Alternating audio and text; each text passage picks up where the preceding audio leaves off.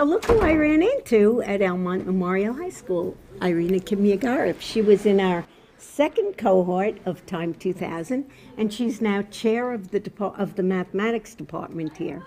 And uh, she's got an amazing math department that actually has three of our other Time 2000 graduates. Yes, uh, aside from Anna, we have uh, Chris Prasad, Carlene Hoeing, uh, myself, of course. So it's a total of four of us in total the of department.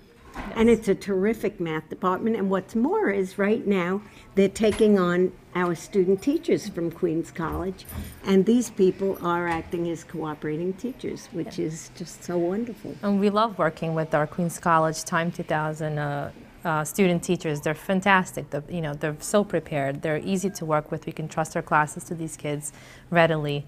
Um, it's just it's a great opportunity for our teachers also Yeah. to gain some professional development. It's a match made in heaven because the Time 2000 graduates teach in a way that's consistent with the Common Core state standards right now. Yes. And they're learning the latest ways of teaching and keeping up with the current very pressing demands on new mathematics teachers.